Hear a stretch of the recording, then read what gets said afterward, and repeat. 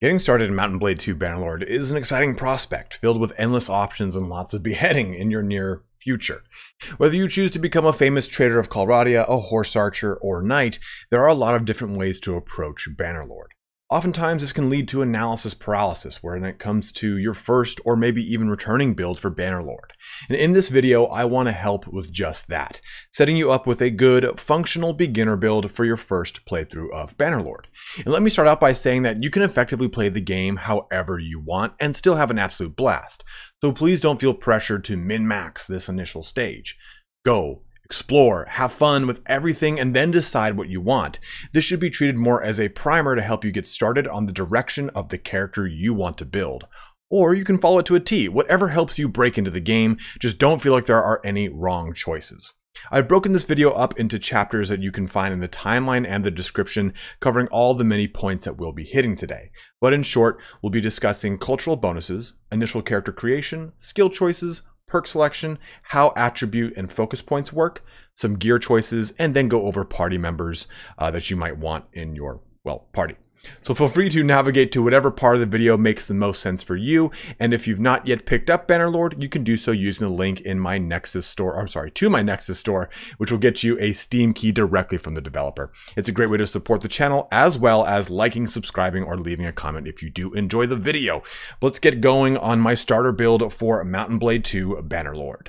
So to start us off, we're going to go through the cultural bonuses and how to select them. Um, as a, just a really quick note, you have a choice between New Campaign and Sandbox. I would recommend Sandbox, uh, the main story quest campaign right now. Um, as of the creation of this video, it doesn't have its voice lines integrated. There are some bugs, and as a whole, it's very bare bones. It's set to be fleshed out a little bit more closer to launch. So I would just go with Sandbox. It lets you just dive into the game. Don't have to worry about the main story. So when it comes to cultures, one thing I will say is choose the culture that you want to either roleplay as or maybe you enjoy the aesthetic of the most because as of this point in the game, when you select this culture in Sandbox, you will then start in that region. So if you say choose Vlandia, you'll start with all the Vlandians. So if you like, say, the uh, prototypical Western uh, European knight, then Vlandia is for you. If you like more of the Byzantine, Eastern Roman Empire, late Roman Empire look, then the Empire is for you. So that's from an aesthetic standpoint. But if we're talking strictly about the actual bonuses, let's go over these really quick because almost all of them, for the exception of Battania, apply to a specific style of play. So Vlandia is going to give you bonuses to being a mercenary and going to give production bonuses to villages that are bound to castles. Um, every single one of these is going to have a it's going to have two pros and one con. The con here is recruiting lords to armies costs 20% more influence. So it is a little bit harder to have larger armies in Vlandia. Um, for Sturgia, you got recruiting and upgrading infantry troops are 25% cheaper. Armies lose 20% less daily cohesion, meaning the armies stay together for longer and you have to worry about less issues with food and what have you. 20% more relationship penalty, though, from kingdom decision. So anytime you uh, uh go to enact a kingdom decision and you have people oppose it, there's 20% more of a, of a a relationship penalty when they oppose the decision and it doesn't pass for them or whatever the, the contrary uh, selection is. So for Empire, get 20% less garrison troop wages. Being in an army brings 25% more influence. Um, we'll go over what influence, renown, and gold are. They're your three kind of currencies. We'll go over that later. But this helps in the later portions of the game. And village hearths increase 20% less. So what that means is villages grow larger and more wealthy slower because hearth is the overall amount of homes in those cities. Or I'm sorry, in those uh, towns or villages, villages. and for Aserai, Caravans are 30% cheaper to build, 10% less trade penalty, no speed penalty on desert, and then daily wages of troops in the party are increased by 5%. Khuzait recruiting and upgrading mounted troops are 10% cheaper, and 25% production to horse, mule, cow, and sheep in villages, so meaning that the yield of the production of that trade resource is a quarter larger. 20% less tax income from towns. And then for Battanians, we've got 50% less speed penalty and 15% sight range bonus in forests. Towns owned by Battanian rulers have one a plus one mil militia production, meaning that their, militia, their militias, their militias produce faster. 10% uh, slower build rate for town projects and settlements, meaning when you want to build things in any town or any settlement, city, whatever it is, castle, um, it's going to be 10% slower. So Of all six of these, there's a certain playstyle that kind of hinges on each one, right? Vlandians is more of a mercenary style, right? Do you want to be a mercenary captain jumping from faction to faction? Well, maybe Vlandia is then for you. Do you want to be an infantry general, leading a large pocket of infantry, less of an emphasis on any type of horse archers or mounted cavalry, right? Then that's Sturgians. Do you want to be someone who is maybe an army general or a vassal that is a part of armies? Maybe it's empire then for you because being in armies brings you 25% more influence, which is quite nice. Or do you want to be a trader going around and peddling your wares here and there, then Aserai is definitely going to be the one for you because caravans are 30% cheaper and 10% less trade penalty. Or maybe lastly, you want to be you know, like a rider of Rohan, a horse lord, then that's Khuzait because recruiting and upgrading mounted troops is 10% cheaper. I would worry very little about the negative bonus. Negative bonus, is that really a thing? The negative trait of all of these cultural bonuses because it's not really that drastic and you won't really experience it much in the early campaign. I will say though that of all of them, Battania is personally very weak. The speed penalty and sight range bonus in forests, there are very few forests on the map that you'll be part of in mass, and that militia production either is not going to ever benefit you or it won't benefit you into the late game. So I, if you want to choose like a true min-max, go with these first five, maybe Khuzait if you really want to stick with horse archers, which is going to be the focus of this build. Um, but outside of that, you can really go with whatever culture you want, Battania being kind of the weakest one as far as overall bonuses go. Now moving into initial character creation, you can go through the prompts on a role play standpoint, right? If you want, if you want to say, hey, I want this character to have this feel to it. But this is the character I've created for this build in mind, because again, we're going to be focusing on a horse archer style of build. So what I've done here is gone and chosen family, early childhood, adolescence, youth, and young adulthood according to this path. So you can go ahead and copy this if you so wish. I'm Khuzait as the culture. That will dictate each one of these options. Each culture has a different focus when it comes to these options and what they can maximize. So for example, um, Sturgia is the only culture that will allow you to start with max focus points into roguery. So every single culture's got different focal focus points. Vlandia, I believe it's uh, riding and polearm. They're knights. Makes sense. So go with what you either want to from a from a roleplay standpoint, or copy mine and do this to equal the stats and focus points we have on the left. Starting age, I've gone with 30 because it gives us four unspent focus points and two unspent attributes. And the big thing here is that we're going to be focusing on vigor, endurance, social, and intelligence. Yes, of course, control as well because we'll be using a bow, but it's important to get our riding up faster than bow because our riding skill is going to dictate a penalty to both our one-handed and to our um, bow. So getting this up faster is going to be very crucial. Now, when it comes to social and intelligence, we'll be focusing on Steward a lot, and I'll show you how to do that in just a little bit.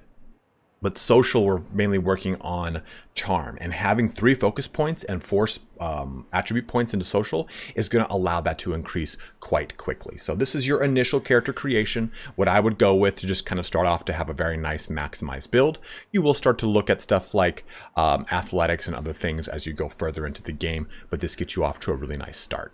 A quick note on difficulty too before we progress into skill choices. Um, Take a look down here at the very bottom. You have clan member death possibilities, enable birth uh, and death, auto allocate clan member perks, and then Iron Man mode. Let's just go over these four. So this is going to dictate whether or not your clan members can die in combat. The realistic means that they've got a chance to die. You can either reduce that by 50 or 100%. If you're just starting out and you're trying to learn the game, do 100%. I just recommend that that's a good way to start out because this way you don't have to worry about building a party and have them die off and not understanding why. Enable birth and death is basically the capability for, see, choose if heroes are able to age and reproduce. This option cannot be changed later. I think you should turn this on. It makes the game dynamic and feel alive. Auto allocate clan member points, keep that off. And Iron Man mode makes it so that the game will only have one save and that's it. So if you want that challenge and you don't you, you can't save scum as it were, then go ahead and turn this on. Um, but I think if you're just starting off, you can go ahead and leave that off. The rest of this, if you put it on realistic, it's going to be very hard. but I think that you should put keep it on realistic to learn through a real trial by fire. And it is the way everyone really plays after the first couple hours of the game. So that's just a quick note on difficulty. Let's jump down to some skill choices and explanation. So here we are, we're outside of the character creation screen and we have all of our skills to take a look at. Now, the way the game works is for every focus point in the beginning, it's going to invest 10 points into that skill. That's changed from the start of the game. And I do have a character creation guide that goes over the finer points of how these focus points, learning rate, and attribute points work. You can find that linked in the upper right corner. We will briefly go over that in this video, but that I go a little bit more in depth in that video um, to give you a better idea of how this all works. So taking a look here at our skills, we have got our big focuses. We're going to be focusing on one-handed skills, bow, riding, charm, steward, and then as kind of like a last one, athletics. Those are the primary ones we're going to focus on with this build. Yes, you should also be focusing on leadership and trade and uh, maybe even two-handed or pole arm, but that's down the road. This is just to kind of get you off the ground and get started with everything. So when it comes to one-handed, this is going to be your primary melee skill. It's an awesome one that you can use in close quarters, on horseback, in sieges, in everything. And the ways to increase it are going to be very self-explanatory fight with a one-handed weapon. It's pretty self-explanatory, like I said. But all skill points for combat weapons can be, or experience for combat weapons, can be increased depending upon how the damage you do is done. So if you're on horseback, riding at full tilt, and you hit someone in the head and kill them, you'll get more experience than if you're on foot and hit someone in the hand and don't kill them. So pretty much there are, it's the difficulty of the hit, and that's both in all of the vigor skills and in all of the control skills. So if you were to hit someone in the head with your bow, you get more experience than if you were to hit someone in the hand or foot, right? Perform difficult shots from a long distance to get more experience. Which brings us into our next skill, which is going to be bow. You are going to be on horseback. And with a bow and arrow, it gives you an ability to kind of have a little bit of a buffer in between the actual combat coming your way. You can weaken someone up. You can actually take care of fighting against packs of looters on your own if they're small amount and you kind of have a good idea of how to get those uh, initial shots off. But bow is very strong. It can be used in field battles. It can be used expertly in siege defense or offense. It's a really great ability and it's not as slow as crossbow and it does not suffer from ammunition issues like throwing does. Throwing is stupid strong, but you only get a couple shots. And if you miss any of those, you've just lost a whole um, huge amount of damage potential. Next up is riding.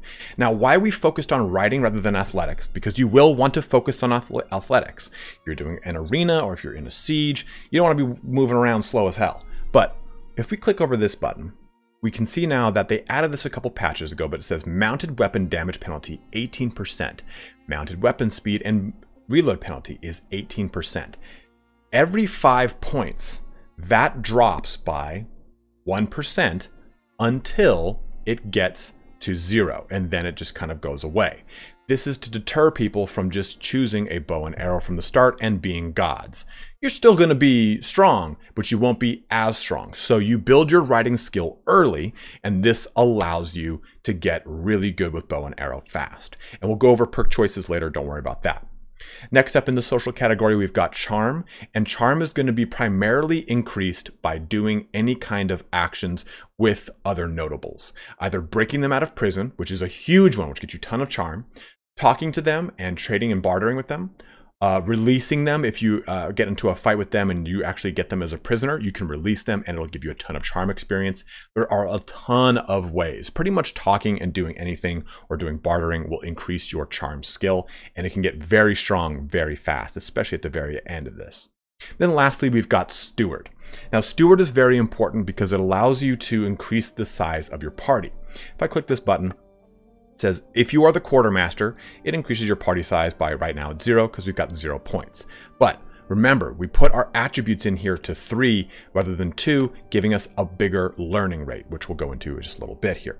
But the way that you increase your steward skills succinctly and very easily is by having a lot of food variety.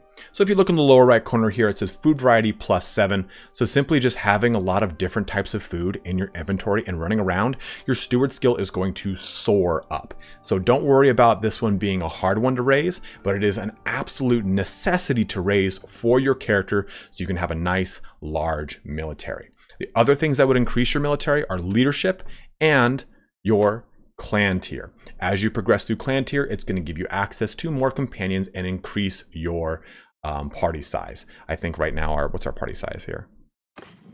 Uh, that's not party. Our party size here is 20. Uh, once you get to the second clan tier, I think it jumps up to like 50 or 70. I can't remember the number off the top of my head.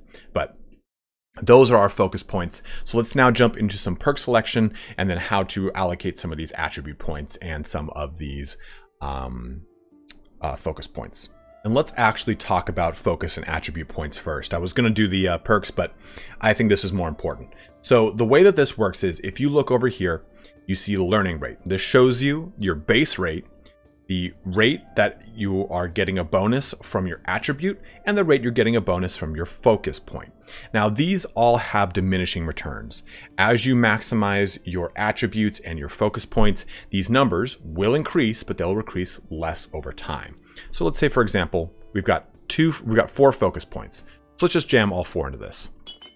You saw how our, our learning rent, our learning rate went from four to nine.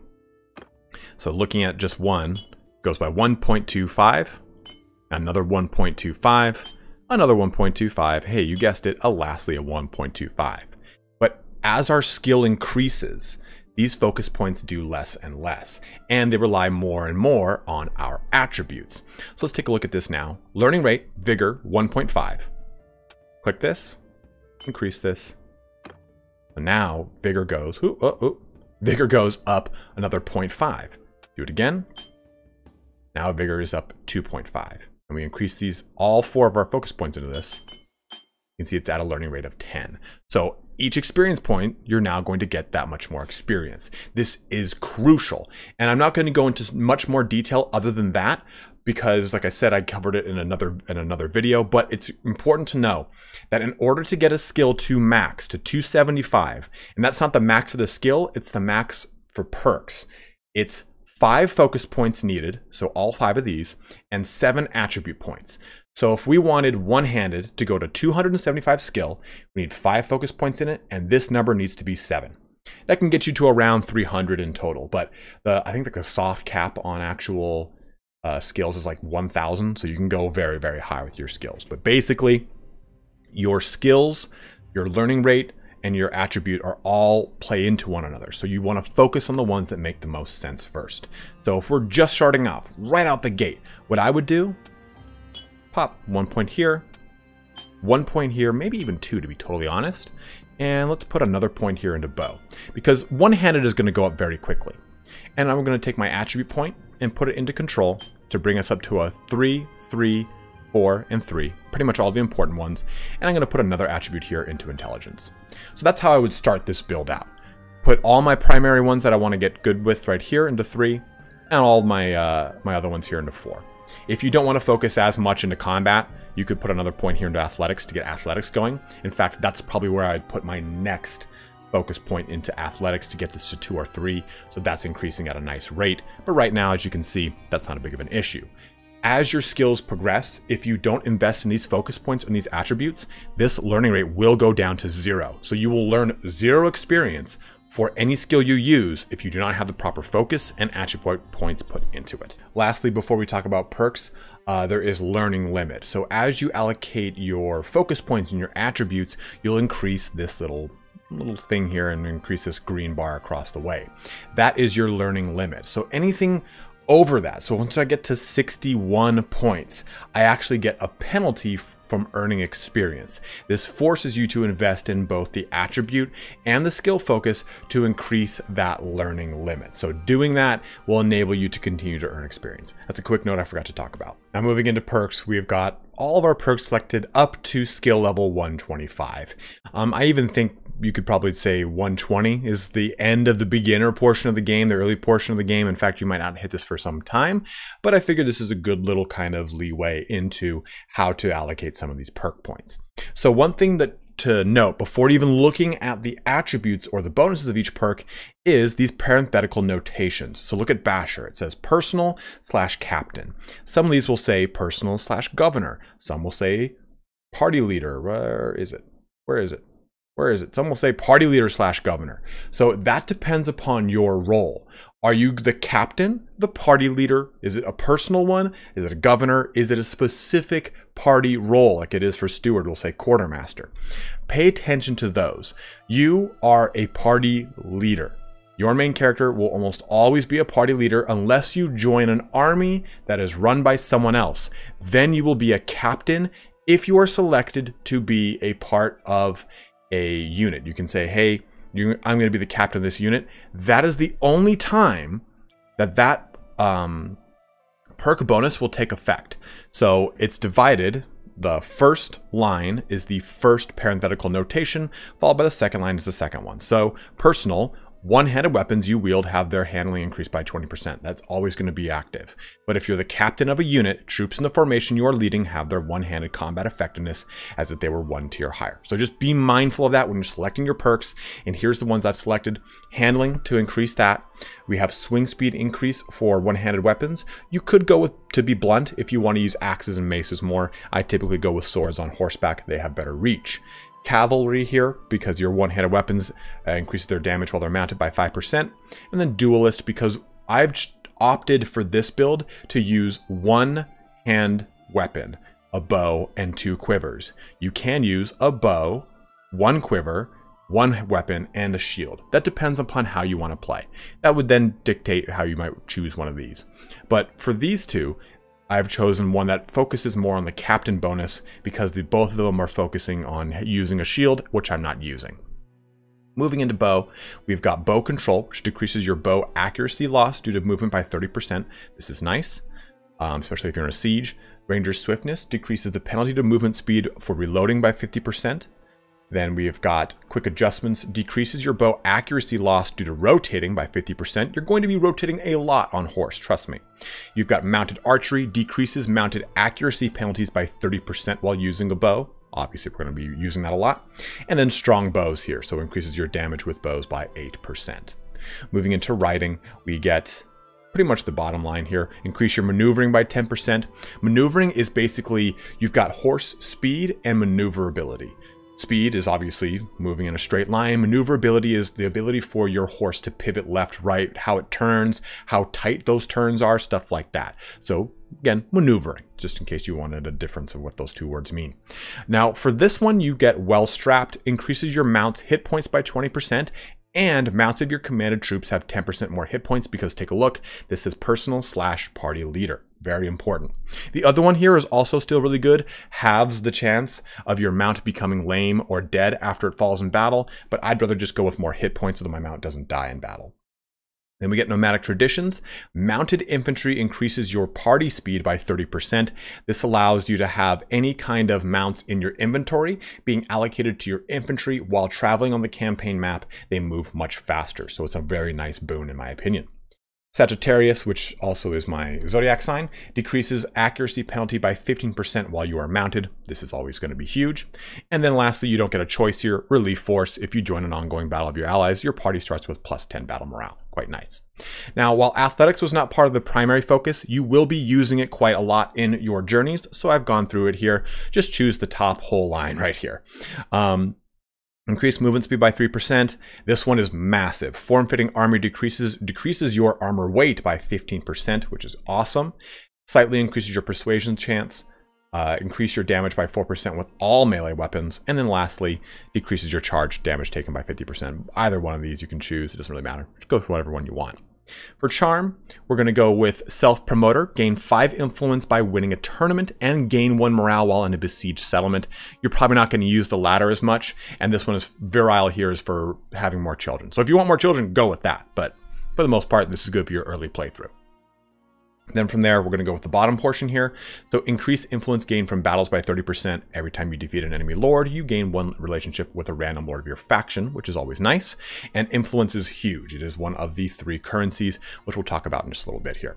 Now you've got meaningful favors, 10% better chance for double persuasion success versus the other one, 20% chance to avoid personal, uh, avoid persuasion critical failure. I like the chance to have uh, success more so than the uh, avoiding a critical failure. So that's personal preference, I suppose.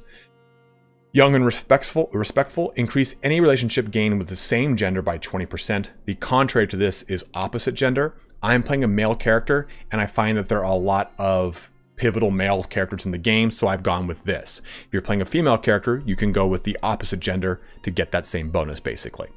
Um, then you get another choice here that's personal 30% less influence cost when voting for proposals made by other people. This assumes you're going to be a vassal and a member of another kingdom. This one Firebrand, 50% less influence cost to initiate kingdom decisions, more assumes that you're going to become the ruler of a kingdom. I assume for your first playthrough, you don't want to do that because it's very challenging and you want to learn the game. So be a vassal to start. This one makes a lot of sense. Lastly, we've got steward here. So we got the top line. So uh, party wages are 5% less, which is better than party consumes 10% less food. You can always buy more food.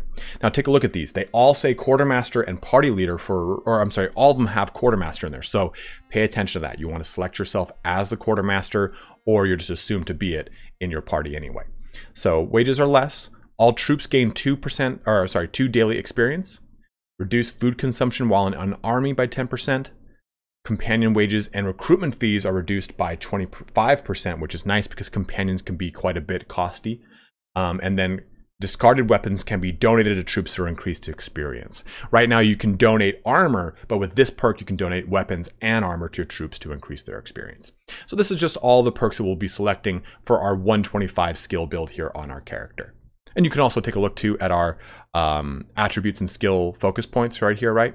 Four, four, five, four, and four. I put five here because I wanted athletics to get up faster, and I put five focus points into it, so its learning rate is at 10x. But just to kind of give you a, a quote unquote end game build of what the beginner build would look like. When it comes to gear, you really can get away with pretty much everything you find. In the early portions of the game, you're going to find a ton of armor and you're just going to keep swapping it off, so don't really worry about it too much. To be totally honest with you, most of the armor you're going to find from either killing enemy armies or from competing in tournaments, and you should be competing in tournaments as often as you can. That's where you would get something like this. A plumed nomad helmet is easily acquired from a tournament, but um, I have a bunch of Khuzait armor on because it kind of fits the character I wanted to portray, but every single culture's armor you can find typically in their region's tournaments. But I would just try to find tier 3 or tier 4 armor as fast as you can uh, by killing looters, doing bandit stuff, uh, banding, I'm sorry, bandit hideouts, um, attacking minor clans, or by doing tournaments. It's the best way to find it. And just armor's going to come to you in droves, just kind of swap out. And as the game progresses in time, you will find higher tier armor spawning in towns. So if you can't find tier 5 or 6 armor, don't worry, it will eventually populate into a town. Same thing with weapons and bows and arrows and whatnot on that note, weapon wise, you start off with an Iron Saber, which is, to be totally honest, a very good, strong weapon to use on horseback. It's got a great length of 90, handling 101, good speed, and great damage for both swing and thrust. So hold on to this. You can use this for a long time until you upgrade to a steel or Thamaskene stuff up, up the road. The big thing you're going to focus on is, of course, your bow. Um, you start with your simple, I'm sorry, you don't start with a simple short bow. You start with a different bow. Um, you start with a steppe bow or a hunting bow, depending upon what you are using. Not to be confused with your step bro, which would be the person that's going to help you get stuck out of your dryer. Now, you want to upgrade your bow as fast as possible. If you can jump to a Nordic short bow within short notice, go for it. But I'd really try to spring for a simple short bow. Um, a steppe recurve bow is just too expensive. Jumping into that fifth and sixth tier is going to be a huge money sink, so hold off on those. Just try to jump into either the Nordic or simple short bow as fast as you can. They're going to be your best bet for good early game damage. One thing to keep in mind though when you're choosing a bow is look at these symbols. Not usable with one-handed, not usable with shield. Duh, right? But look at this lowland longbow. If you see this symbol can't be used with mounts, you cannot use it until you get the appropriate bow skill, which will allow you to use uh, bows on mounts, all bows on mounts. So just be mindful of that. You don't look at, say, I practice longbow go, oh, this is really good. I'm going to pick this up. Don't do it. Well, a terrible bow. A longbow and go, this is really good. I'm going to pick this up. Don't do it. Um, and one final note here is on your horse. As of some of the more recent patches, Horses will slow down according to the armor on them, so stick with a harness of some sort, something that's pretty lightweight. You don't want to go too heavy because it'll slow your horse down.